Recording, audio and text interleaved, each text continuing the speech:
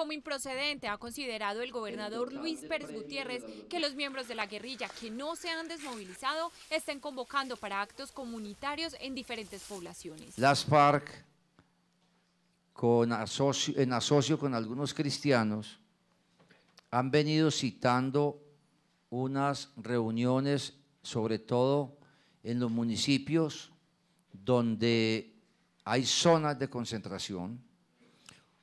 Ellos la han llamado vigilias, eso es como un cóctel entre la guerrilla y la religión. Por esto, el mandatario envió una carta al presidente Juan Manuel Santos en la que expresa su preocupación por lo que él manifiesta sería un salpicón político-religioso. He consultado con autoridades nacionales y encuentro respuestas contradictorias sobre la actitud que los gobernantes deberíamos asumir en este caso. No sabemos ese cóctel qué consecuencias pueda tener.